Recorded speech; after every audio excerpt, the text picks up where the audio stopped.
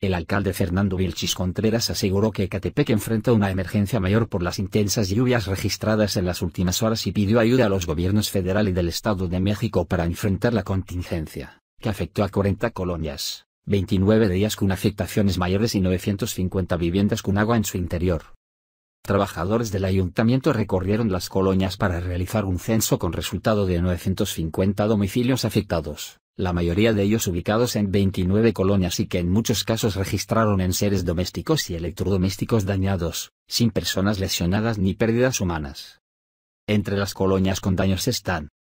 las tres secciones de San Agustín, Jardines de San Gabriel, La Estrella, La Popular, Valle de Anahuac, Rinconada de Aragón. Todas las secciones de Ciudad Azteca.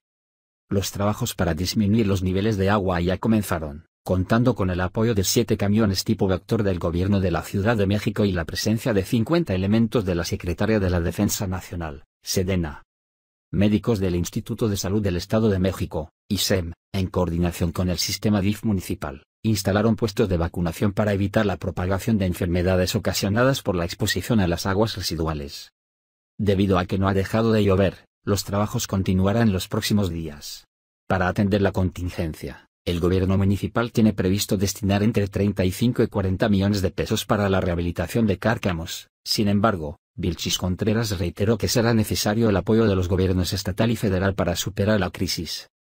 Explicó que si bien el problema tiene que ver en un 60% por la infraestructura del drenaje y 25% con los cárcamos, 15% es debido a la basura, ya que durante los trabajos se han recogido 40 toneladas de desechos, por lo que pidió a la población apoyar con el tema.